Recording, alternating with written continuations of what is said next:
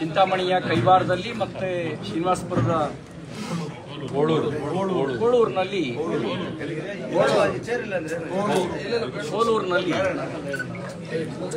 ನಮ್ಮ ಮೈತ್ರಿಕೂಟದ ಅಭ್ಯರ್ಥಿ ಮಲ್ಲೇಶ್ ಬಾಬು ಅವರ ಪರವಾಗಿ ಈ ಭಾಗದ ಜನನಾಯಕರು ಶಾಸಕ ಮಿತ್ರರು ಆದಂಥ ವೆಂಕಟ ಶ್ರೀಕುಮಾರ್ ರೆಡ್ಡಿಯವರು ಮತ್ತು ಸಂಸದರಾದಂಥ ಮುನಿಸ್ವಾಮಿಯವರ ಜೊತೆಗೆ ಗೋವಿಂದೇಗೌಡರು ನಾರಾಯಣಸ್ವಾಮಿಯವರು ಡಾಕ್ಟರು ವೇಣುಗೋಪಾಲ್ ಅವರು ಎಲ್ಲರೂ ಒಟ್ಟಿಗೆ ಸೇರಿ ಚುನಾವಣಾ ಪ್ರಚಾರ ಸಭೆಯನ್ನು ಮಾಡಿದ್ವಿ. ಅಲೆ ಮೋದಿ ಅಲೆ ಇದೆ. ರಾಜ್ಯದ ಹತ್ತಕ್ಕೂ ಲೋಕಸಭಾ ಕ್ಷೇತ್ರಗಳಲ್ಲಿ ಪ್ರವಾಸ ಮಾಡಿದ್ದೇನೆ. ಅಲ್ಲಿ ಕಳೆದ ಸರಿ ಚುನಾವಣೆ ಕಾಂಗ್ರೆಸ್ಸಿಗೆ ಓಟ್ ಹಾಕಿದವರು ಈಗ ಬಿಜೆಪಿ ಅಂತ ಹೇಳ್ತಿದ್ದಾರೆ. ಈಗ ಮೋದಿ, ಜೆ ಡಿ ಎಸ್ ಅಂತ ಹೇಳ್ತಿದ್ದಾರೆ. ಬಹುಶಃ ಇಪ್ಪತ್ತೆಂಟಕ್ಕೆ ಇಪ್ಪತ್ತೆಂಟು ಸ್ಥಾನವನ್ನು ನಮ್ಮ ಮೈತ್ರಿಕೂಟ ಕರ್ನಾಟಕದಲ್ಲಿ ಗೆಲ್ಲುತ್ತೆ. ನಮ್ಮದೊಂದು ಸಹಜವಾಗಿರುವಂಥ ಸ್ವಾಭಾವಿಕ ಮೈತ್ರಿ ಇದು. ಕಳೆದ ಕಾಂಗ್ರೆಸ್, ಜೆ ಡಿ ಎಸ್ ಮಾಡ್ಕೊಂಡು ಹೊಂದಾಣಿಕೆ, ಅದು ಮಿಸ್ ಮ್ಯಾಚ್ ಆಗಿತ್ತು ಅದು ಹಾಲಿಗೆ ಹುಳಿ ಹಿಂಡ್ದಂಗೆ ಆಗಿತ್ತು.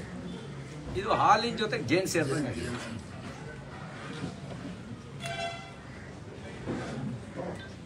ನನಗೆ ಆಶ್ಚರ್ಯ ಆಗೋದೇನು ಅಂದರೆ, ನೋಡಿ, ಸುದೀರ್ಘ ರಾಜಕೀಯ ಇತಿಹಾಸ ಇರುವಂಥದ್ದು ಪಾರ್ಟಿ ಕಾಂಗ್ರೆಸ್ ಪಾರ್ಟಿ. ಅವ್ರು ಸ್ವತಂತ್ರ ಪೂರ್ವದ್ದು ಅಂತ ಹೇಳ್ಕೊಳ್ತಾರೆ. ಆ ಕಾಂಗ್ರೆಸ್ಸಿಗೆ ಬದುಕಿದೆಯೋ ಇಲ್ವೋ ಗೊತ್ತಿಲ್ಲ. ಆ ಹೆಸರಿನಂತೂ ಇಟ್ಕೊಂಡಿದ್ದಾರೆ. ನಿಮ್ಮ ಪ್ರಧಾನಮಂತ್ರಿ ಅಭ್ಯರ್ಥಿ ಯಾರು ಅಂತ ಹೇಳಿದ್ರೆ ಯಾರು ಹೇಳಕ್ಕೆ ತಯಾರಿಲ್ಲ. ಯಾಕೆ ರಾಹುಲ್ ಗಾಂಧಿ ಹೆಸರು ಹೇಳಿದ್ರೆ ಬರೋ ಓಟು ಬರೋಲ್ಲ ಅನ್ನೋ ಭಯನಾ ಕಾಂಗ್ರೆಸ್ಸಿಗೆ? ರಾಹುಲ್ ಗಾಂಧಿ ಅವ್ರ ಹೆಸರು ಹೇಳಿ ಓಟ್ ಕೇಳಿದ್ರೆ ಬರುವ ಓಟು ಬರಲ್ಲ ಅನ್ನುವಂಥ ಭಯ ಕಾಂಗ್ರೆಸ್ಸಿಗೆ ಕಾಡ್ತಾ ಇದೆ.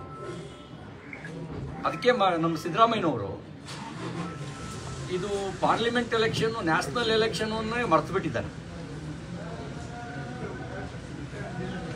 ಅವರು ಇನ್ನು ಎಸ್ ಅಸೆಂಬ್ಲಿ ಎಲೆಕ್ಷನ್ ಗುಂಗಲ್ ಇದ್ದ ಗುಂಗಲ್ ಇಟ್ಕೊಂಡೇ ಮಾತಾಡ್ತಾರೆ.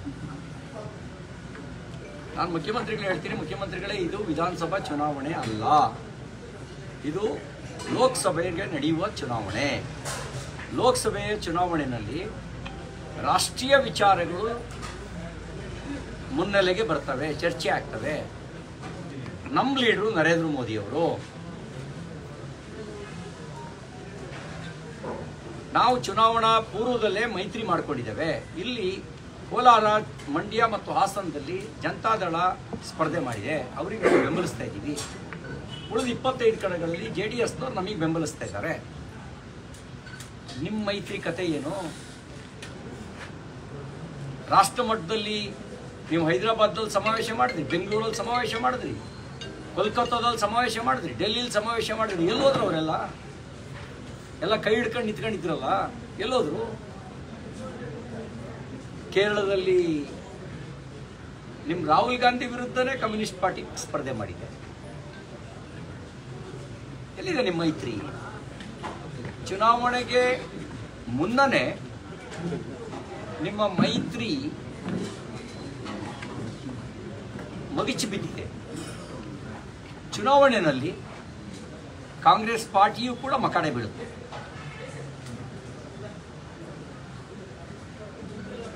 ಇದು ನೀತಿ, ನೇತೃತ್ವ, ನಿಯತ್ತು.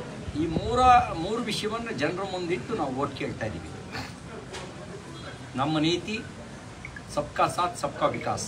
ನಮ್ಮ ನೀತಿ ರಾಷ್ಟ್ರ ಮೊದಲು. ನಮ್ಮ ನೀತಿ ದೇಶದ ಸುರಕ್ಷತೆಯ ಜೊತೆಗೆ ರಾಜಿ ಮಾಡಿಕೊಳ್ಳದೆ ಇರೋದು ಕಾಂಗ್ರೆಸ್ಸಿಗೆ ನೀತಿನೂ ಇಲ್ಲ, ನೇತೃತ್ವನೂ ಇಲ್ಲ, ನಿಯತ್ತೂ ಇಲ್ಲ. ನಮ್ಮ ನೇತೃತ್ವ ನರೇಂದ್ರ ಮೋದಿ. ನಿಮ್ಮ ನೇತೃತ್ವ ಯಾವುದು? ಯಾರ ನೇತೃತ್ವದಲ್ಲಿ ಎಲೆಕ್ಷನ್ ನಿಯತ್ತು. ಅನ್ನೋದು ನಿಮ್ಮ ಡಿಕ್ಷನರಿನಲ್ಲೇ ಇಲ್ಲ. ದೇಶದ ಬಗ್ಗೆನೂ ನಿಮ್ಮ ನಿಯತ್ತಿಲ್ಲ, ಜನರ ಬಗ್ಗೆಗೂ ನಿಮ್ಮ ನಿಯತ್ತಿಲ್ಲ. ನನಗೆ ವಿಶ್ವಾಸ ಇದೆ, ನಮ್ಮ ಮಲ್ಲೇಶ್ ಬಾಬು ಅವರು ದಾಖಲೆ ಮತಗಳ ಅಂತರದಲ್ಲಿ ಗೆಲ್ತಾರೆ. ಎಂಟು ವಿಧಾನಸಭಾ ಕ್ಷೇತ್ರಗಳಲ್ಲಿ ಲೀಡ್ ಬರುತ್ತೆ. ಚುನಾವಣೆ ಆದಮೇಲೆ ಕಾಂಗ್ರೆಸ್ ಸ್ನೇಹಿತರಿಗೂ ನಾವು ಥ್ಯಾಂಕ್ಸ್ ಹೇಳ್ತೀವಿ. ಅವರು ಕೂಡ ನಮ್ಮ ಹತ್ರ ಖಾಸಗಿಯಾಗಿ ಭಾಳ ಮಾತಾಡಿದ್ದಾರೆ. ನಮಗೂ ದೇಶದ ಬಗ್ಗೆ ಅಭಿಮಾನ ಇದೆ. ದೇಶಕ್ಕೆ ಮೋದಿ ಬರಬೇಕು ಚಿಂತೆ ಮಾಡಬೇಡಿ ಮೋದಿ ಅಂತ ಹೇಳಿದ್ದಾರೆ. ಅವರಿಗೂ ನಾವು ಥ್ಯಾಂಕ್ಸ್ ಹೇಳ್ತೀವಿ. ಸರ್ ಇಡೀ ಲೋಕಸಭಾ ಚುನಾವಣೆಯಲ್ಲಿ ಎಷ್ಟು ಸೀಟ್ ಬಂದು ಒಂದು ನಿರೀಕ್ಷೆ ದೇಶದಲ್ಲ. ಹೌದು. ನಮ್ಮ ಗುರಿ ನಾನ್ನೂರು ಕ್ರಾಸ್ ಮಾಡೋದು. ಎರಡು ಸಾವಿರದ ಹದಿನಾಲ್ಕರಲ್ಲಿ ಟೂ ಸೆವೆಂಟಿ ಟೂ ಪ್ಲಸ್ ಅಂತ ಇಟ್ಕೊಂಡಿದ್ವಿ. ಮುನ್ನೂರ ಮೂವತ್ತು ಎನ್ ಡಿ ಎಗೆ ಬಂತು, ಭಾರತೀಯ ಜನತಾ ಪಾರ್ಟಿಗೆ ಇನ್ನೂರ ಎಂಬತ್ತೆರಡು ಸೀಟ್ ಬಂತು. ಎರಡು ಸಾವಿರದ ಹತ್ತೊಂಬತ್ತರಲ್ಲಿ ತೀನ್ ಸೌ ಪಾರ್ ಅಂತ ಹೇಳಿದ್ವಿ, ಮುನ್ನೂರು ಸೀಟ್ನ ಕ್ರಾಸ್ ಮಾಡೋದು, ತ್ರೀ ಹಂಡ್ರೆಡ್ ಪ್ಲಸ್ ಅಂತ ಮುನ್ನೂರು ಮೂರು ಸೀಟ್ ಬಂತು. ಹತ್ತತ್ರ ಮುನ್ನೂರ ಐವತ್ತರ ಆಸ್ಪಾಸ್ನಲ್ಲಿ ಎನ್ ಡಿ ಎಗೆ ಬಂತು. ಸರಿ, ಲೋಕಸಭೆ ಚುನಾವಣೆ ಫಲಿತಾಂಶ, ರಾಜ್ಯ ಒಂದು ರಾಜಕೀಯದ ಮೇಲೆ ಏನ್ ಪರಿಣಾಮ ಬೀರುತ್ತಾ ಮುಂದೆ ಅಂತ. ನಾವೇನು ಅವ್ರನ್ನ ಬೀಳಿಸ್ಬೇಕು ಅನ್ನೋ ಉದ್ದೇಶ ನಮಗಿಲ್ಲ. ಆದ್ರೆ ಅವ್ರೊಳಗೆ ಎಲ್ಲವೂ ಚೆನ್ನಾಗಿಲ್ಲ ಅನ್ನೋದನ್ನ ಅವರವರೇ ಹೇಳಿಕೆ ಕೊಟ್ಟು ಹೇಳ್ತಿದ್ದಾರೆ. ನೋಡಿ, ಒಬ್ರು ಮುಖ್ಯಮಂತ್ರಿ ಹಾಲಿ ಇದ್ದಾಗ ಇನ್ ಫ್ರಂಟ್ ಆಫ್ ಸಿದ್ದರಾಮಯ್ಯ,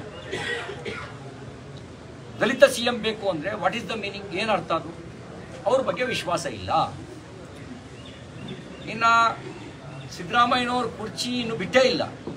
ನಾನೇ ಅಂತ ಡಿ ಕೆ ಶಿವಕುಮಾರ್ ಅವರು ಖಾಲಿ ಇರೋ ಕುರ್ಚಿಗೆಲ್ಲ ಟವಲ್ ಹಾಕಕ್ಕೆ ಹೋಗ್ತಾರೆ ಅಂದ್ರೆ ವಾಟ್ ಈಸ್ ದ ಮೀನಿಂಗ್ ಏನಾದ್ರೂ ಅರ್ಥ? ಅಂದ್ರೆ ವಿಶ್ವಾಸಾರ್ಹತೆ ಕೊರತೆ ಇದೆ. ಒಳಗೆ ಎಲ್ಲವೂ ಸರಿ ಇಲ್ಲ. Senior leaders they wrote the letter ಅವ್ರು ಲೆಟರ್ ಬರೀತಾರೆ. ಸರ್ಕಾರದ ಕಾರ್ಯವೈಖರಿ ಬಗ್ಗೆ. ಹನಿಮೂನ್ ಪೀರಿಯಡ್ ಮುಗಿಯಕ್ಕೆ ಮುಂಚೆನೆ. ಯಾವಾಗಲೂ ಮೊದಲ ಆರು ತಿಂಗಳು ಹನಿಮೂನ್ ಪೀರಿಯಡ್ ಹನಿಮೂನ್ ಪೀರಿಯಡ್ ಮುಂಚೆನೆ. ಜಗಳ ಶುರುವಾಗುತ್ತೆ ಅಂದರೆ ಇನ್ನು ಮಕ್ಕಳು ಹುಟ್ಟೋದು ಹೆಂಗೆ? ಡೆವಲಪ್ಮೆಂಟ್ ಆಗೋದು ಹೆಂಗೆ? ಸರ್ ಇತ್ತೀಚೆಗೆ ಆದಿಚುಂಚನಗಿರಿ ಮಠಕ್ಕೆ ಏನು ಬಿಜೆಪಿ ಮತ್ತೆ ಜೆ ಡಿ ಎಸ್ನ ಅಭ್ಯರ್ಥಿಗಳು ಭೇಟಿ ಕೊಟ್ಟಿದ್ರು. ತದನಂತರ ಕಾಂಗ್ರೆಸ್ ನಾಯಕರು ಸಾಕಷ್ಟು ಟೀಕೆಗಳು ಮಾಡ್ತಾ ಇದ್ದಾರೆ ಸರ್. ಭಯ ಅವರಿಗೆ. ನೋಡಿ ಮಠಗಳು ಒಂದು ಪಕ್ಷಕ್ಕೆ ಸೇರಿದವಲ್ಲ. ಯಾರು ಪೇಟೆಂಟ್ ಮಾಡಿಸ್ಕೊಳಕ್ಕಾಗಲ್ಲ. ನಾವು ಸ್ವಾಮೀಜಿಯವ್ರ ಹತ್ರ ಹೋಗಿ ಏನು ಕೇಳಿದ್ವಿ? ಸನಾತನ ಧರ್ಮ ಮತ್ತು ದೇಶದ ಉಳಿಸೋದಕ್ಕೆ ಆಶೀರ್ವಾದ ಮಾಡಿ ಅಂತ ಕೇಳಿದ್ವಿ. ಅವ್ರು ಯಾಕೆ ಭಯ ಪಡಬೇಕು ಈಗ ನಾವು ರಾಕ್ಷಸರೆಲ್ಲ ನಾಶವಾಗಲಿ ಅಂತ ವರ ಕೊಡಿ ಅಂತ ಕೇಳಿದ್ರೆ, ರಾಕ್ಷಸರಿದ್ದವರು ಮಾತ್ರ ಹೆದರಬೇಕು. ಈಗ ನಾವು ಸನಾತನ ಧರ್ಮ ಉಳಿಸೋದಕ್ಕೆ, ರಾಷ್ಟ್ರವನ್ನ ಬಲಗೊಳಿಸೋದಕ್ಕೆ ಆಶೀರ್ವಾದ ಮಾಡಿ ಅಂತ ಕೈ ಜೋಡಿಸಿ ಪ್ರಾರ್ಥನೆ ಮಾಡಿದ್ದೀವಿ ಅದ್ರಲ್ಲಿ ಏನು ಅಪರಾಧ ಇದೆ? ನಾವೇನಲ್ಲೂ ಕಾಂಗ್ರೆಸ್ ನಾಶವಾಗೋದಕ್ಕೆ ನಮ್ಗೆ ಆಶೀರ್ವಾದ ಮಾಡಿ ಅಂತ ಕೇಳಿಲ್ಲ. ದೇಶ ಬಲಗೊಳಿಸೋದಕ್ಕೆ ಸನಾತನ ಧರ್ಮ ಉಳಿವಿಗೆ ಆಶೀರ್ವಾದ ಮಾಡಿ ಅಂತ ಕೇಳಿದ್ದೀವಿ ಅವ್ರು ಯಾಕೆ ಹೆದರ್ಬೇಕು? ಅವ್ರು ಹೆದರ್ತಾ ಇದ್ದಾರೆ ಅಂದರೆ ಅವರಿಗೆ ಭಯ ಕಾಡ್ತಾ ಇದೆ. ಸೋಲಿನ ಭಯ ಕಾಡ್ತಾ ಇದೆ. ಶಿವಮೊಗ್ಗ ಫಲಿತಾಂಶ ಏನ ಏನಾಗ್ಬೋದು? ಸರ್ ಇಪ್ಪತ್ತೆಂಟಕ್ಕೆ ಇಪ್ಪತ್ತೆಂಟು ಲೋಕಸಭಾ ಕ್ಷೇತ್ರ ಅಲ್ಲ ಈಶ್ವರಪ್ಪನವರು ಬಂಡಾಯ ಸ್ಪರ್ಧೆ ಮಾಡಿದ್ರು ಅದೇನು ಪರಿಣಾಮ ಬೀರೋದಿಲ್ಲ ಸರ್ ಬಿಜೆಪಿಗೆ? ವೈಟ್ ಅಂಡ್ ಸಿ ನಾಮಿನೇಷನ್ ಉಪಸ್ಥಿತಿ ತಗೊಳ್ತಾರೆ ಸರ್ ಕಾದು